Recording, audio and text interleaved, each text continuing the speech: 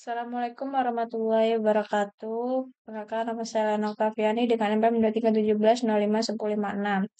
Di sini adalah lanjutan dari materi yang sebelumnya, yaitu sekarang materi tentang struktur komputer dengan arsitektur von Neumann dan perbedaan dengan arsitektur Harvard.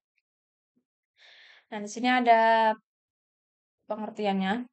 Arsitektur von Neumann adalah desain teoritis berdasarkan konsep komputer program yang tersimpan di mana data program dan data instruksi disimpan dalam memori yang sama. Arsitekturnya dirancang oleh ahli matematika dan fisika yang terkenal yang fisika terkenal John von Neumann pada tahun 1945. Sampai konsep desain komputer von Neumann mesin komputer dirancang untuk tujuan tunggal yang telah ditentukan yang akan kekurangan kecanggihan karena pengerjaan ulang manual sirkuit. Gagasan di balik arsitektur von Neumann adalah kemampuan untuk menyimpan instruksi dalam memori bersama dengan data di mana instruksi beroperasi. Singkatnya, arsitektur von Neumann mengacu pada kerangka umum yang harus diikuti oleh perangkat keras, pemrograman, dan data komputer. arsitektur von Neumann ter sendiri terdiri dari tiga komponen yang berbeda, yaitu pusat unit prosesor atau CPU, unit memori, dan antarmuka input-output atau I.O. CPU adalah jantung dari sistem komputer yang yang terdiri dari tiga komponen utama yaitu unit aritmatika dan logika atau ALU, unit kontrol CU, dan register. ALU bertanggung jawab untuk melakukan semua operasi aritmatika dan logika pada data. Sedangkan unit komputer kontrol menentukan urutan aliran instruksi yang perlu dijalankan dalam program dengan mengeluarkan sinyal kontrol ke perangkat keras. Sedangkan register pada dasarnya adalah lokasi penyimpanan sementara yang menyimpan alamat instruksi yang perlu dieksekusi. Unit memori terdiri dari RAM yang merupakan memori utama yang digunakan untuk menyimpan data dan instruksi program. Antar muka input-output memungkinkan pengguna untuk berkomunikasi dengan dunia luar seperti perangkat penyimpanan.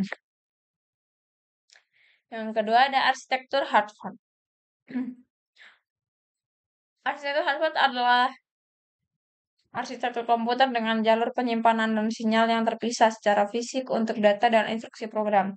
Tidak seperti arsitektur von Neumann yang menggunakan bus tunggal untuk mengambil instruksi dari memori dan mentransfer data dari satu bagian komputer ke yang lain.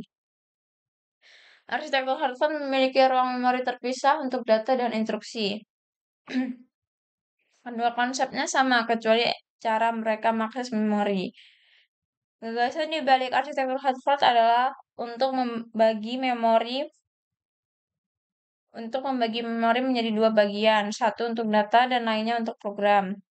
Persyaratan didasarkan pada komputer berbasis relay Mark I Mark E. Hartford asli yang menggunakan sistem yang akan memungkinkan data transfer data instruksi diambil untuk dilakukan pada saat yang sama. Desain komputer dunia nyata sebenarnya didasarkan pada arsitektur Harvard yang dimodifikasi dan umumnya digunakan dalam mikrokontroler dan DSP, Digital Signal Processing. Nah, ini ada perbedaan von Neumann dan arsitektur Harvard. Yang pertama, perbedaan dasar-dasar arsitektur von Neumann dan Harvard, sistem memori, pemrosesan instruksi, biaya instruksi penggunaan arsitektur. Sekian materi pada kali ini. Saya akhiri. Wassalamualaikum warahmatullahi wabarakatuh.